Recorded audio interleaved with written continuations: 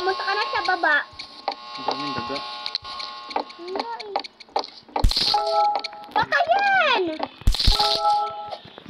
Patayin!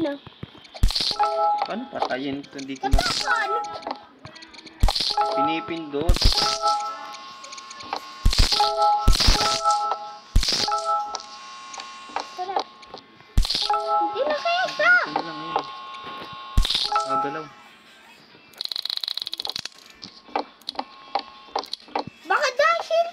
Nilagyan ng malino niya yun.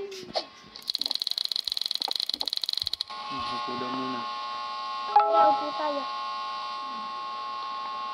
Buksan mo, pre. Eh, kawag bukas. Oh. Yan. Touching TV. Ito, nakakatakot naman yung tunog ng TV. Na, eh.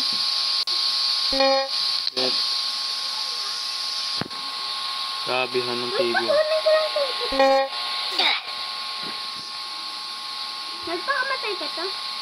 Hindi. Yo! Mm. Ayun na.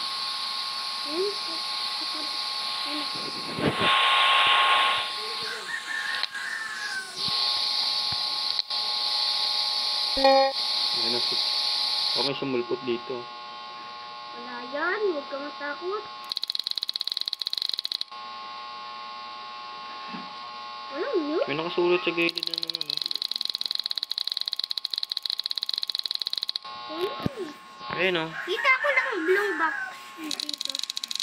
Yung wala nagkakawa siya natin box. Ay, tara, maginis daw sa labas. Tara. Pero mo nakakatakot. Isip at nagulat ako. Tanggala. Uy, hindi mo ako to. Mga kosa! Tara, hintayin niyo ako.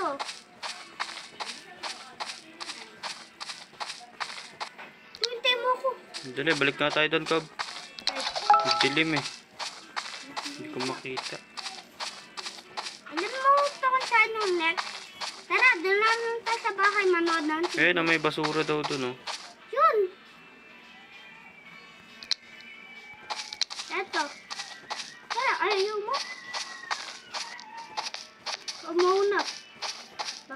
Tao pa dun. Mga tuloy yan to. Ano to? Bato. O, pangapat pala to. Ano to? Basura pa ba to?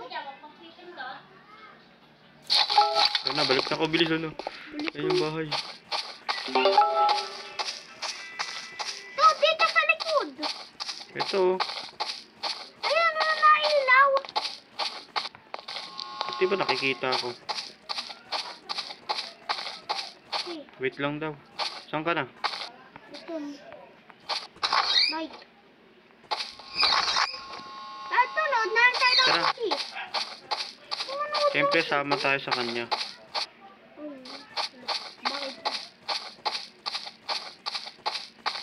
Dumpster lang naman yun ah.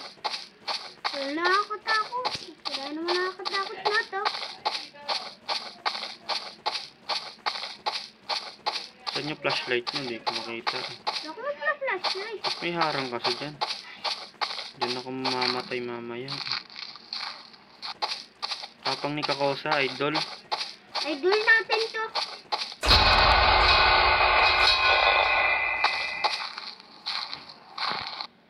Tapon niya na. Tara, balik na tayo. Ayun ang job natin. Nagkatapon ng basura. Bakit maliligaw pa ako. Ayop mo. Punta natin to si Kakosa.